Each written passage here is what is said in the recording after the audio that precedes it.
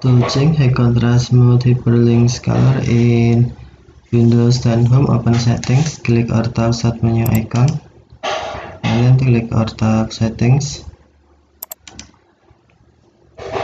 select easy of access, and then click or tap high contrast,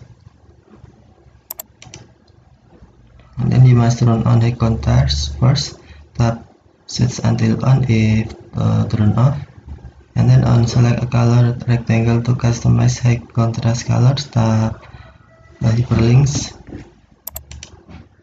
And then choose hyperlink text color.